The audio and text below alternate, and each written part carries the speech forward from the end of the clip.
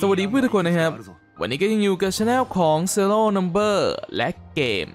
Genshin Impact กันอีกเช่นเคย ในครั้งนี้เราก็ยังอยู่กับกิจกรรม กุหลาบและศัสตรา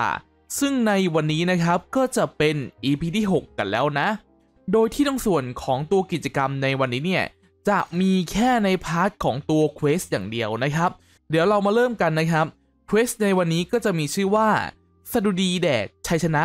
ของสองฐานเสือนะครับ มา ก็คาดว่าน่าจะเป็นวันได้รางวัลแล้วนะ เขาบอกว่าให้รออีกสองวันนะครับ ดังนั้นเราก็จะหมุนนาฬิกาลัวๆไปเลยหนึ่งสองโป๊ะ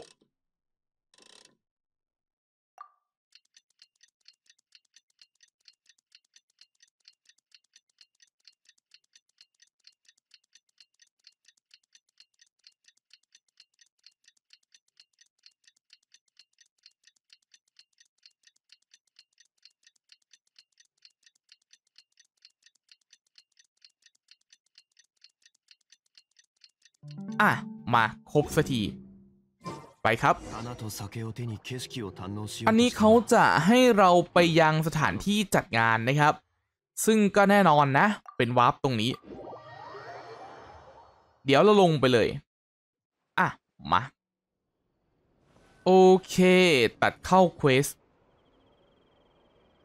ผ่านไปอีกสักพักหลังจากนั้น ภาพยนตร์ก็ได้ออกฉายอย่างราบลื่น และคดีฆาตกรรมด้วยปืนคาบศิลา ก็ปิดฉากอย่างเป็นทางการอ๋อซาวียร์ไม่ได้เจอกันนานเลยนะ สวัสดีทั้งสองคนนะ ขอโทษทีหลังจากที่ตัดต่อเสร็จ ฉันก็เริ่มโปรโมตตัวหนัง แล้วก็จัดเตรียมตรงส่วนของงานภาพยนตร์อีก ฉันก็เลยยุ่งมากเลยนะ่ะวันนี้เป็นวันประกาศรางวัลแล้วนี่ ไม่รู้ว่า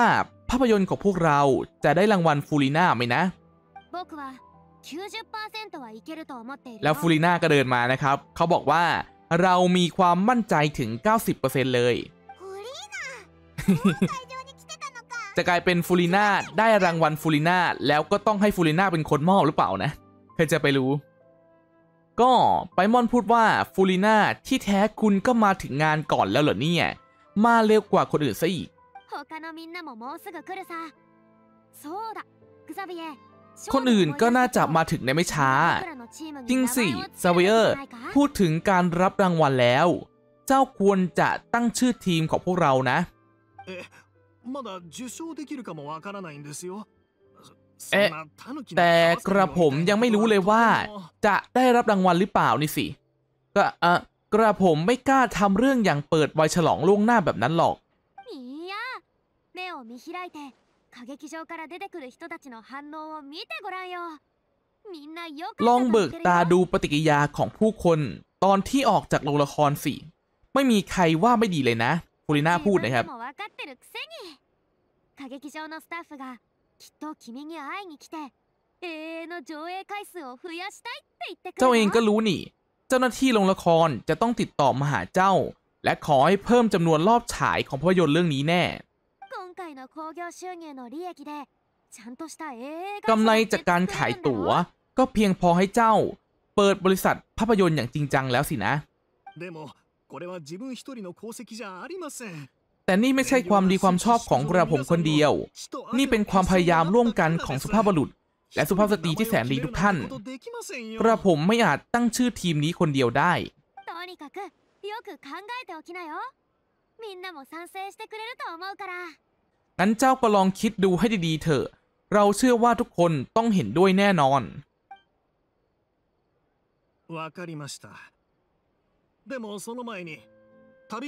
เอ๊ะเขอรบกวนเรานะครับ ให้ไปที่ป้อมเมโลพิเดนะ ไม่รู้ว่าเกิดอะไรขึ้น มันยังไงกันเนี่ย ไพม่อนถามนะครับ แต่ว่ามันยังมีพิธีมอบรางวัลอยู่นะ 二人に我らがヒロインシブルーズさんのお迎えを頼みたい สวีเออร์บอกว่า ฉันอยากจะขอให้พวกเธอทั้งสองคน ไปหาคุณเชฟยูส ผู้เป็นหนึ่งในตัวละครหลักของพวกเรามาที่นี่ 最近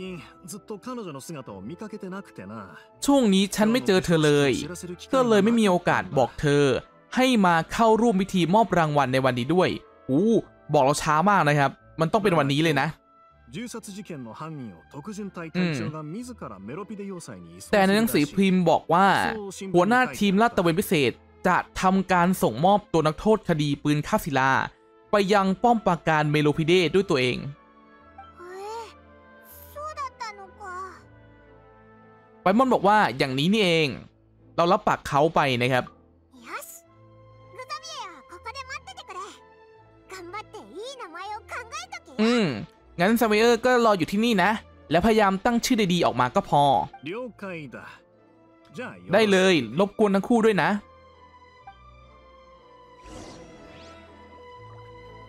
โอเค เราลองคุยซ้ำนะครับ ไหนดูดิ เหมือนจะยังกังวลอยู่นะอะฮะ แค่นี้เลยเนาะก็คือหลักๆ เนี่ย ตัวสเวเออร์ไม่มั่นใจนะครับ ว่าตัวเองจะได้รางวัลจริง ๆ หรือเปล่า มา อันนี้ให้เราเข้าห้องพีวีนะครับ いざ คือตอนแรกผมก็นึกว่าจะไม่เจอแกแลกเควสนี้เนี่ย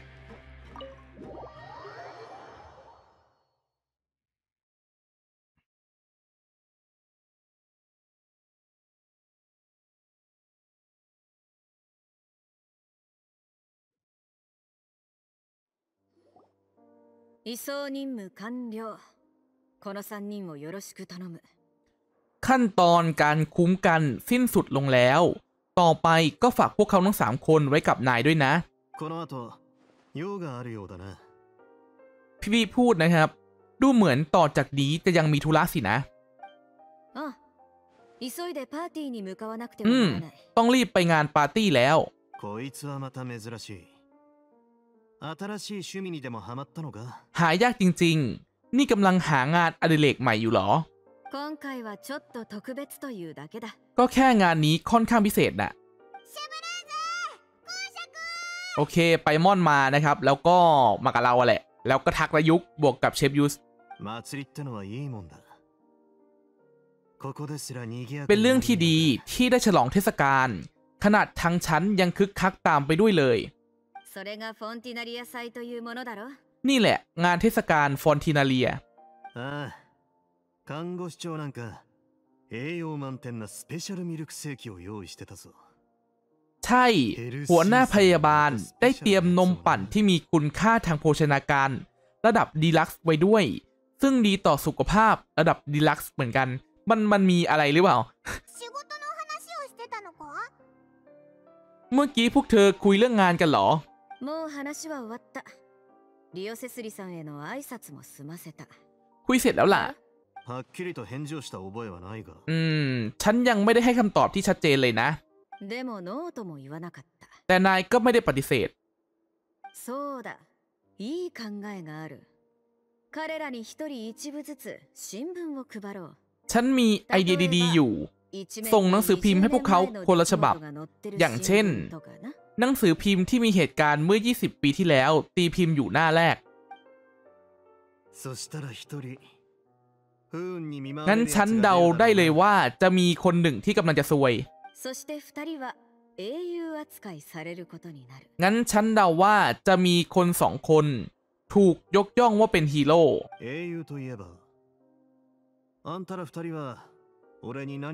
พูดถึงเรื่องฮีโร่แล้ว พวกเธอสองคนมาหาฉันมีเรื่องอะไรหรือเปล่าเอ่อคือพวกเรามาเธอมาชวนฉันไปงานปาร์ตี้ใช่ไหม ฉันยังไม่ลืมหรอกนะว่า วันนี้เป็นวันอะไร โอเคนะครับ ก็คือจะกลับกันใช่ไหมบายบายนะนายุกสุขสันต์เทศกาลฟอนทีนาเรีย あああんたらもな อืม สุขสันต์วันเทศกาลโอเค เขายังไม่วาบเรากลับนะ แสดงว่าคุยได้ลองดิ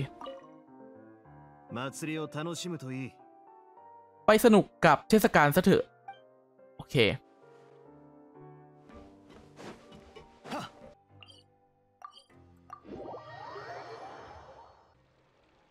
発表いたします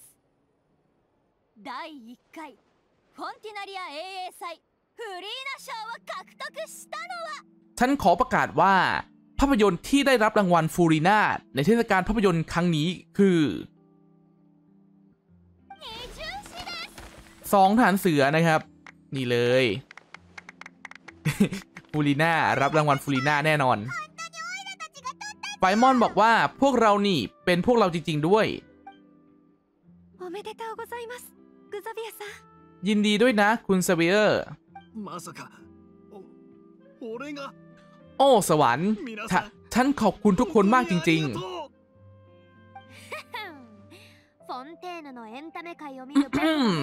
ความคิดของเราต่อวงการบันเทิงฟอนเทนไม่เคยผิดพลาด เอาล่ะ ขอเชิญโปรดิวเซอร์ซาเวียร์ ขึ้นรับรางวัลด้วยค่ะ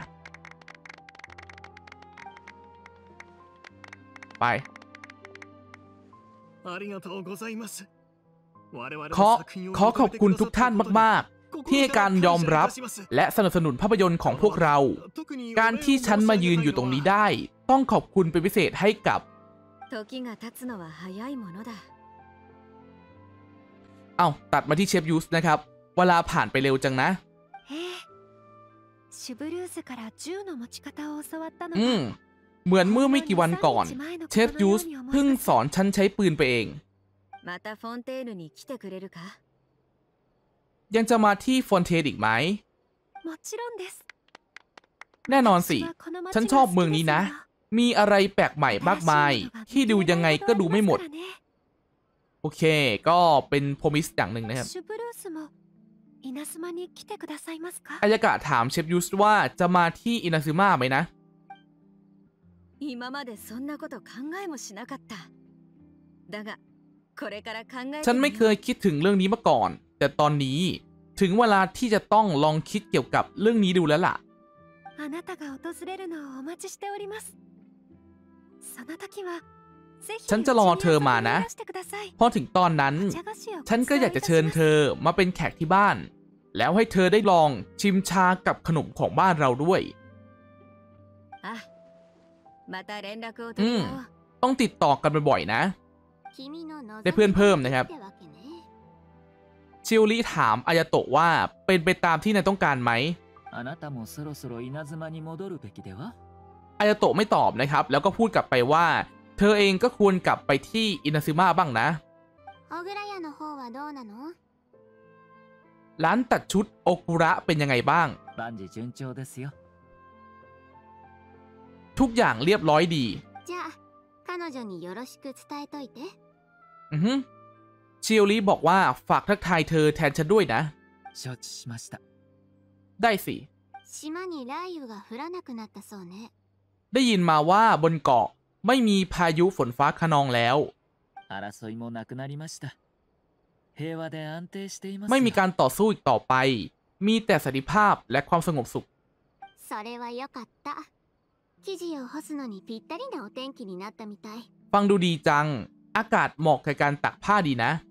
名前を挙げたすべての方々にもう一度感謝の意を ขอขอบคุณบุคคลที่ฉันได้กล่าวถึงอีกครั้ง พวกคุณเป็นคน